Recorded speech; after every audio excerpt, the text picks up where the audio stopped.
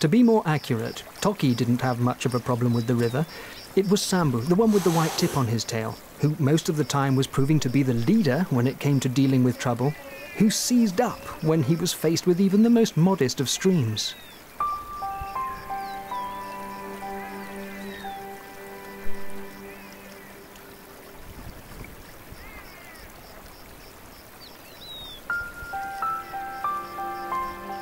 It was extraordinary to witness the strength of the bond between the brothers. Toki wouldn't dream of leaving Sambu behind. Instead, he made his way back as a bit of encouragement for Sambu.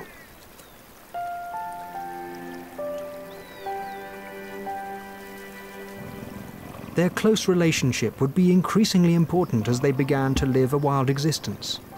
They could cooperate when it came to hunting, and together they'd keep an eye out for danger.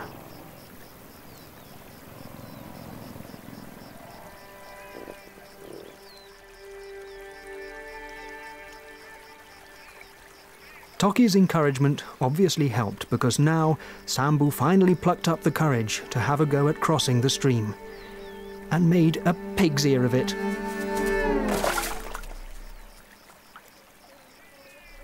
Toki showed him how it should be done.